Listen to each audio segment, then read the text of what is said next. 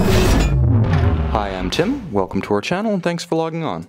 Today we're discussing the Omega Speedmaster Broad Arrow Coaxial Chronograph. You can see the stainless steel automatic winding Omega Speedmaster and buy it on our website.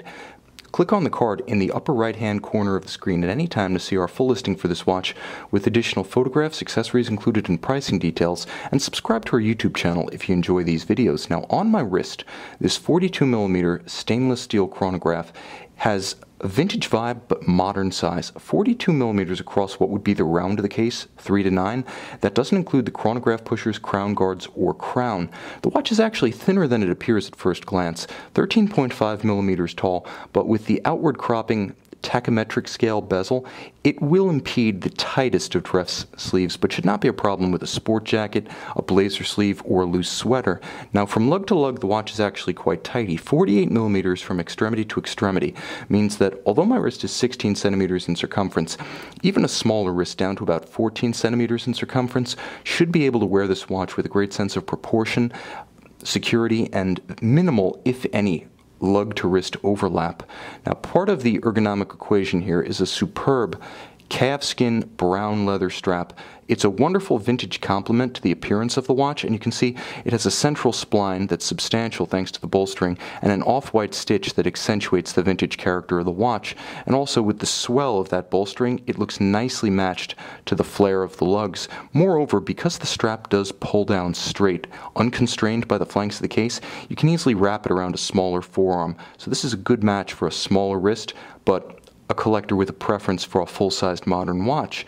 Now the strap is paired with a beautiful single fold deployant trigger actuated Omega clasp. Now this clasp is included on many Omega models, but rarely with the full polish finish you see here. Branded inside and out, it's a handsome piece, and thanks to the twin triggers, not friction fit, so it can't just pop open. It does require positive release. It also features a minder system whereby excess strap, not required for sizing, is tucked underneath the clasp.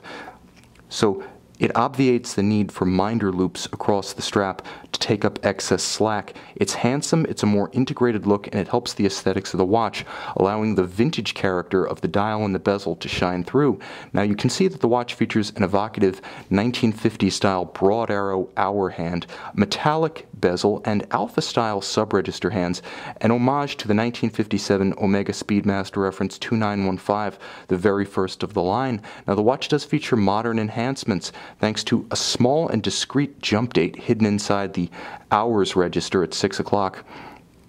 The watch does feature on its caseback a display sapphire, allowing you to enjoy the view of the caliber 3313 chronometer chronograph. Now, it has many refinements relative to its historical predecessor, starting with efficient unidirectional winding, a modern 28,800 vibration per hour beat rate, a superior 52 hour power reserve. This 37 jewel movement is also column wheel actuated with a vertical clutch engagement. So the vertical clutch means that not only does the chronograph start, stop, and reset more precisely and more smoothly, but there is no additional wear and tear on the movement. If you prefer to read seconds, minutes, and hours at center and ignore the subdial, just leave the chronograph running. There's no additional hazard to the movement. Now naturally the escapement of this movement is the famed Daniels coaxial, so there's a very strong link to high horology here as that system remains exclusive to Omega.